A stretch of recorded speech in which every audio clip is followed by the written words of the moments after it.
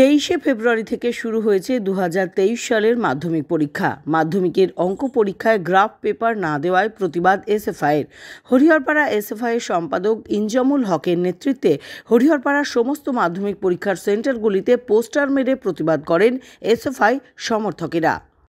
আপনারা জানেন যে গোটা পশ্চিমবঙ্গ রাজ্য জুড়ে যত স্কুল, কলেজে মাধ্যমিক পরীক্ষা চলছে, সেই পরীক্ষা সেন্টারগুলোতে গ্রাফ পেপার কোনোটায় কোনো স্কুলে প্রদান করা হয়নি।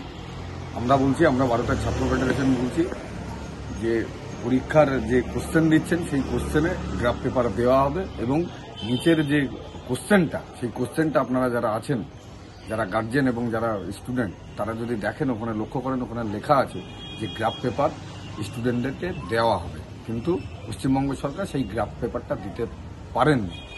আমার মনে হয় তিনি ভুলে গেছেন, শিক্ষামন্ত্রী যিনি আছেন, ন্যায় শিক্ষামন্ত্রী হয়েছেন আগেরটা তো জেলে আছেন, আর ইনি গ্রাফ পেপারের টাকাগুলো মেরে খেয়েছেন, নাকি পকেটে ভরে রেখেছেন, ইনি টাকা পয়সা পাননি, যদি বলতেন আমরা চাঁদাপত্র তুলে আমরা দিতাম। কিন্তু স্টুডেন্টদের সঙ্গে এই ছেলে খেলাগুলোকে বন্ধ করতে হবে।